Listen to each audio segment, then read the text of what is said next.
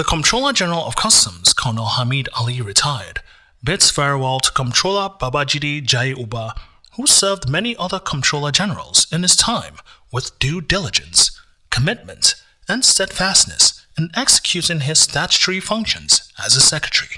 Now, as the new Customs Area Controller of Oyo Osun, the Comptroller General of Customs appreciated Comptroller Jaiyeoba for his years of service in the Customs headquarters.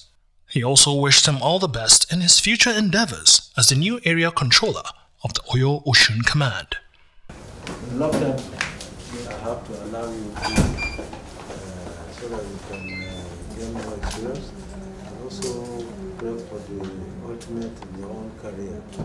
Uh, I want to, on my behalf, and of course, we have all entire members of the staff on, under my office, thank you most profoundly for your diligence, for your commitment, and most especially for your steadfastness and sense of security.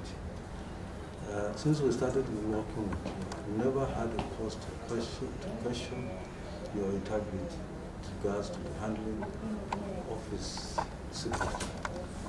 Never. I found the incident to be very, very, very difficult. Uh, sustain the office, and I look forward to getting the same report to your full because now I have uh, CG as well as uh, We are sure. so we will now have to dispense some of the things we've learned uh, theoretically. Now we put them into practice. I have no doubt in my mind Assistant Comptroller General of Customs, Mohammed Abbakura, in charge of headquarters, also remarked on the new area controller's achievements while he was still secretary to the Comptroller General of Customs, stating this job required trust, a sound mind, and dependability in such a sensitive environment. What the CGC said about Controller uh, can stand as a passport for him, for those who uh, appreciate integrity, hard work, and steadfastness. Because if he didn't have those attributes, he would not have even stayed a week in that place. So, in summary, he is an epitome of hard work, integrity, and steadfastness. He did the assignment given to him in the CGC's office to the best of his knowledge and his ability. And you can testify like the CGC testified himself.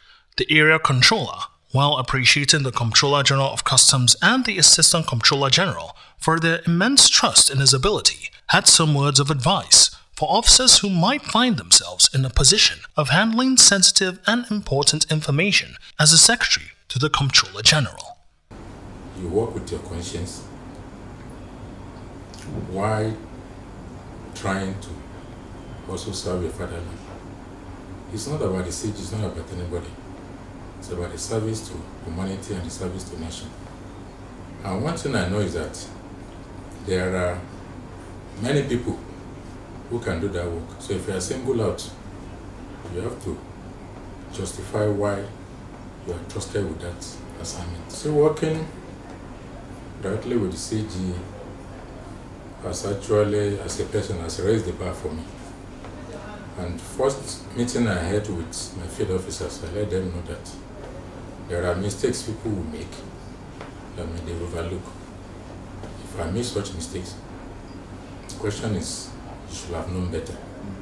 So, working in that privileged position has actually exposed me to a lot of things.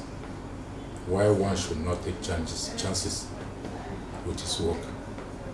So that has made me to also know that the mistake others make, because I see a lot in the office, I see a lot and I know why those mistakes come in. So with that experience, I believe that God being my helper to actually serve as a guide for me to perform better.